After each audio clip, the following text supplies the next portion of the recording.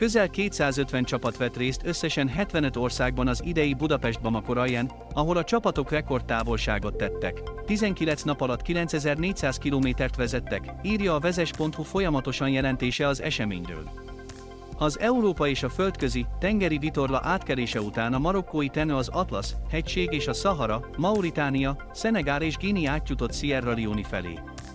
Sajnos nem mindenki fejezte be, és Szabolcs Péteri, aki 2007 óta indult, váratlanul meghalt a verseny során. Az előző évekhez hasonlóan a Bamako a jótékonyságról szól.